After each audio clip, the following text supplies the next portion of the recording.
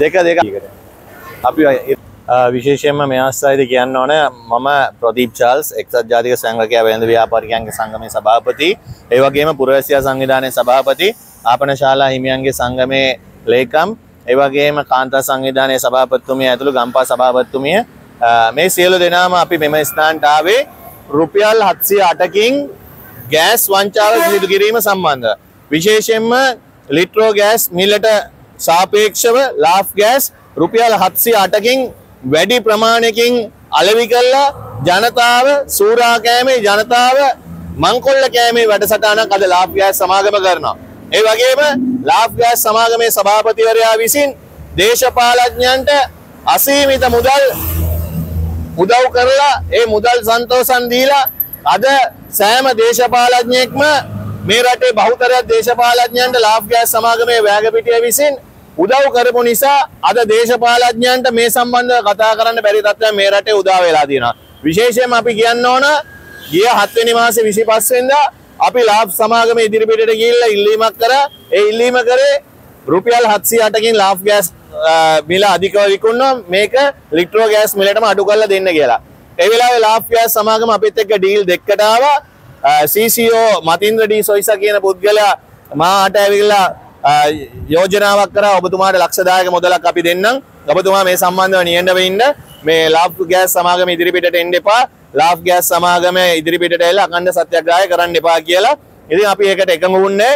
ඊට පස්සේ අපිට දෙවනි ඩීල් එක තමයි එතුමාගේ අපේ සියලුම සිවිල් සංවිධානවල සහ ආපන ශාලාවලට ලිට්‍රෝ ගෑස් මිලටම ලාෆ් ගෑස් එක ලබා දෙන්නම්. ඔයගොල්ලෝ ප්‍රශ්න මෙතනින් ඉවත් කරලා අත්තරලා දාන්න නැවත ලාෆ් සමාගම ඉදිරිපිටට එන්න එපා. පොල් ගහන්න එපා කියප එක තමයි ඒ වෙලේ මතින් රෙඩි සිල්ලාගේ ඉල්ලීම වුණේ.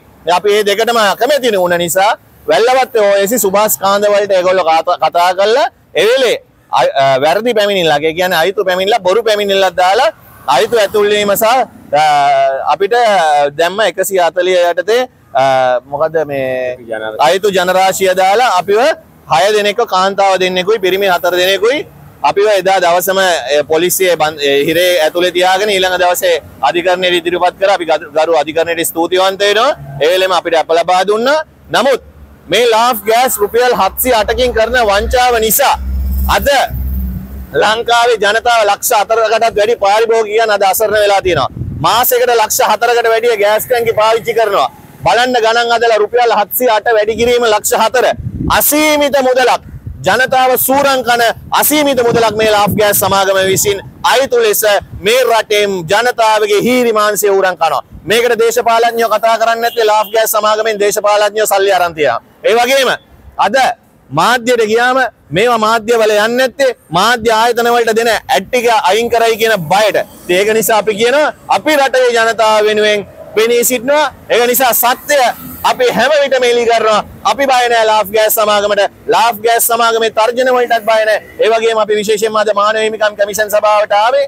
අපි ලාෆ් ගෑස් සමාගමට විරුද්ධව ඒ කරපු සංදේශයට පස්සේ වැල්ලවත්ත පොලිසිය OIC බලහත්කාරයෙන් අපිව රඳවා තබාගෙන අපිව අධිකරණයට ඉදිරිපත් කරලා ඉවරනාට පස්සේ දැන් මේ වෙනකොට අපේ ගෙවල් වලට නාඳුනන පුද්ගලයන් එනවා බයික් වල ඇවිල්ලා අපේ සියලු තොරතුරු හොයනවා. ඒ නිසා අපේ ජීවිතය ගැන අවධානමත් තියෙනවා.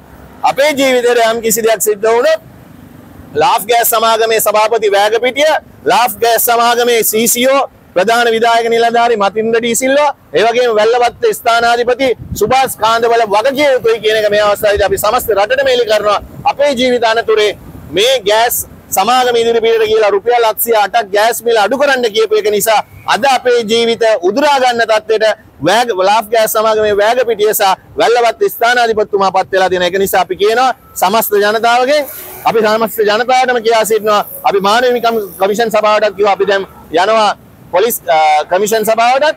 ඒ වගේම අපි යන්න ඕන හැමතැනටම මේ සම්බන්ධව ගෙනියනවා. මොකද අපේ ජීවිත අනතුරේ තියෙන ගෑස් මිල අඩු කරලා ඉල්ලපු එකට. ඒ නිසා අපි කියනවා කරුණා කරලා චණ්ඩිකමින් මේ රට කරන්න හදනවා නම් චණ්ඩිකම ව්‍යාප්ත කරලා අපේ කට වහන්න හදනවා නම් මහා පාරේ මැරුණත් අපි මේ සටනත් අරින්නේ ලාෆ් ගෑස් මිල ජනතාවට අඩු කරලා දෙන තුරු අපි මේ සටන ගෙනියනවා කියමින් මම නියනවා ස්තුතියි.